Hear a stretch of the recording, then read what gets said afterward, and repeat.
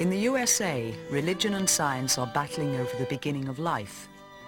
Half of the American population, some 120 million people, believe in biblical creation, that life, the universe and everything in it was created by God in six days. They reject the word of science that humans evolved over millions of years from other species. Christians are fighting to have biblical creation taught in schools Science is fighting to keep it out. At stake are the hearts, minds and souls of America's youth.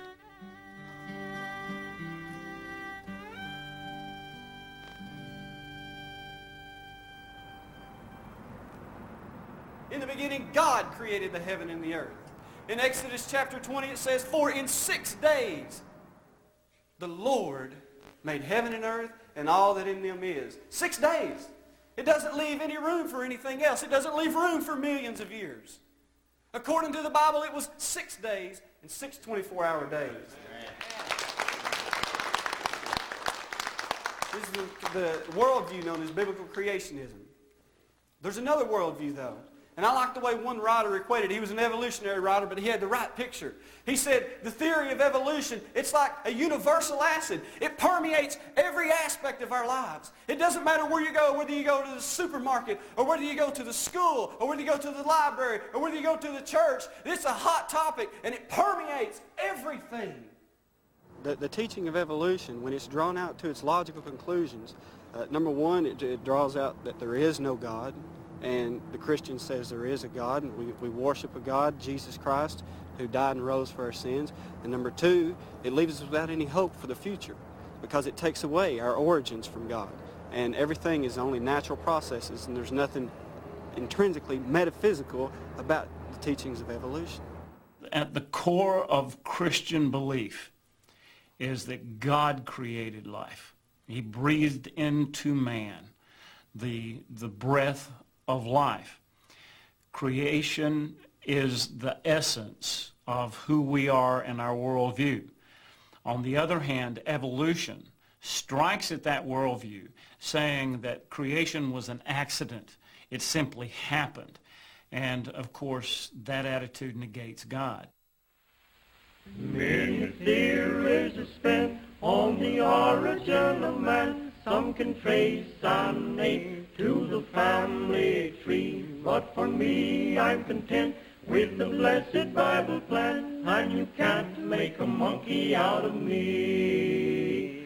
Some believe that the earth started from a little spark, but they can't tell whence came the spark, you see. Many folks had been birth prior to old Noah's Ark, and you can't make a monkey out of me nor you can't make me out of a monkey.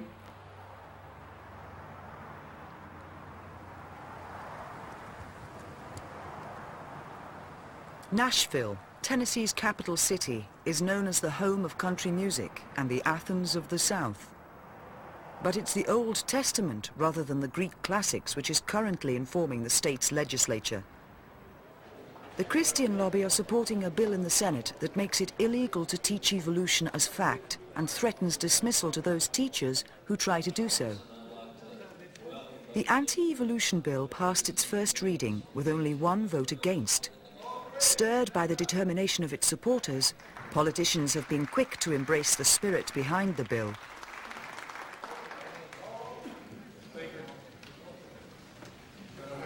While we had this view that there was indeed a creator and he was behind things and man was ultimately accountable to him, there was a restraint upon our actions and we were a much more virtuous and civil society.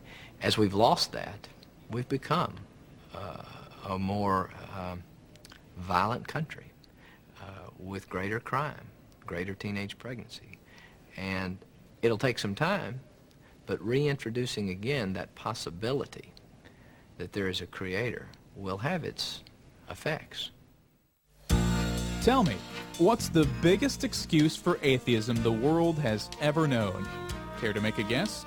It's something that's continually proven false, but scientists still cling to it because it's the only way they can get rid of God.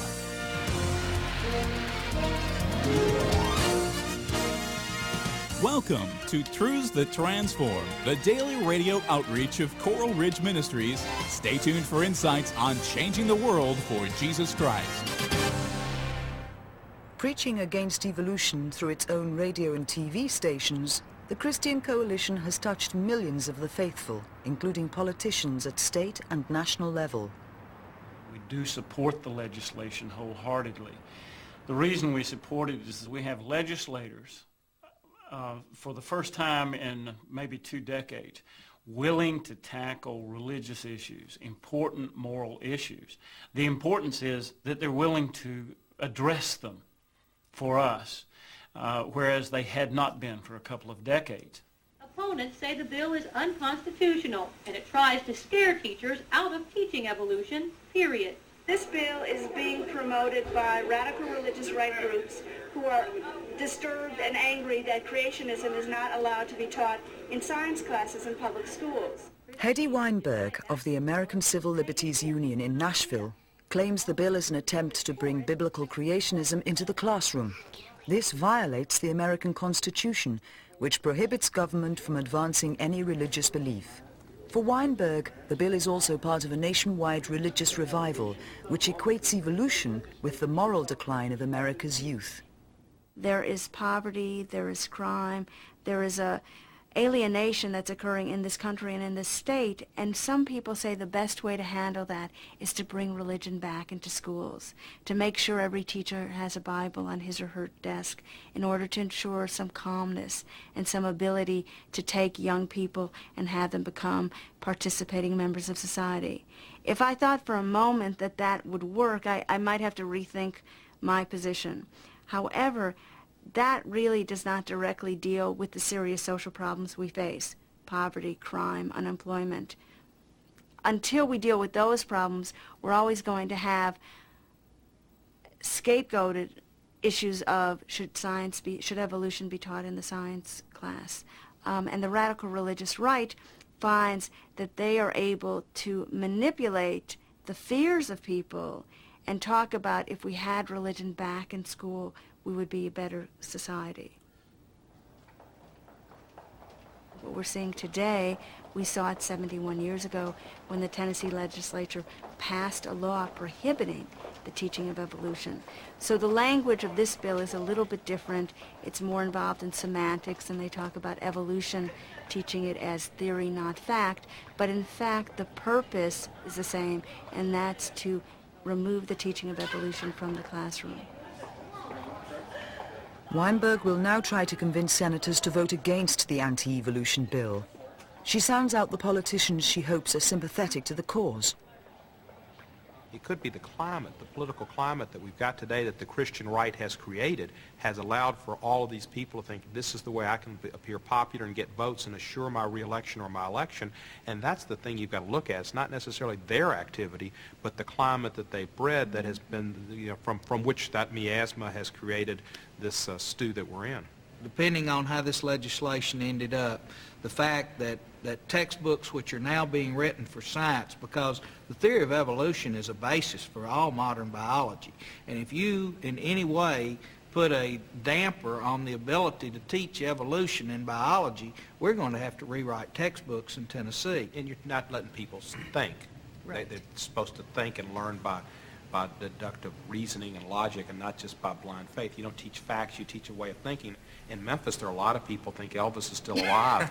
and you wonder, will we start to have to teach both the school that Elvis is alive and the school that Elvis is dead? And this could be this could be the next step. Who knows? Well, it's got all kinds of ramifications. It's, it's just intellectually dishonest.